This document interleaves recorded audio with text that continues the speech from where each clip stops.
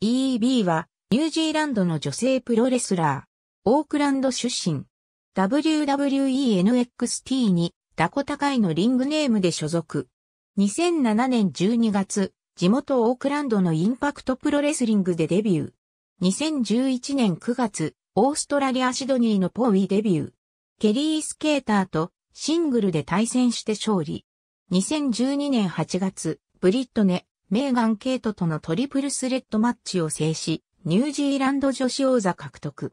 同月28日には、ジェシー・マッケイを下しマディソン・イーグル負傷のため、設けられた、ポウィ暫定王座獲得。2012年、ケリー・スケーターと時間切れ引き分けで、暫定王座防衛。2013年4月6日、シマーデビューで、クリスティーナ・ボン、イーリー、山形優から見て、リア・オライリーとの 5A を戦うが敗れる。同月13日のシマー54で、キンバーリーを下し、シマー初勝利を挙げるも、翌日のシマー56で、ミア・イムに敗れる。同月19日、シャインデビューを果たすも、メルセデス・マルチネスに敗れる。9月には復帰したマディソン・イーグルとのポービー王座統一戦をトップロープダブルストンプで沈め王座統一。2014年01オーストラリアを通じ来日。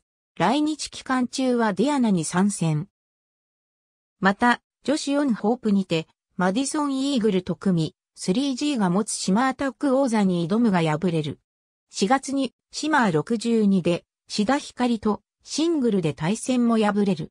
2015年、2度目の来日で、スターダム参戦。その初戦となった12月6日に、松本博代ケリー・スケーターと組み、アーティスト・オブ・スターダム王座を獲得。